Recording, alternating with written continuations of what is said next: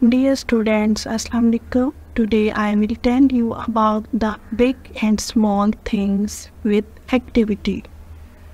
Here is elephant and rat. Elephant has a big body, that's why we call it big, and the rat has a small body, that's why we call rat small. Big elephant, small rat. Now here is a big ball and small ball. Big ball and small ball. Oh, now here is a big jug, small glass, big net and small football. Now here is a big book, small pencil, big car, small cycle. Now take the small box and take the small teddy bear.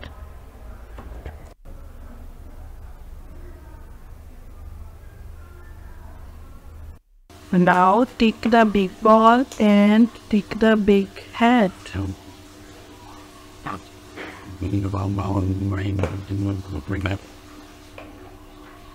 If you like my lecture then kindly like, share and subscribe. Thank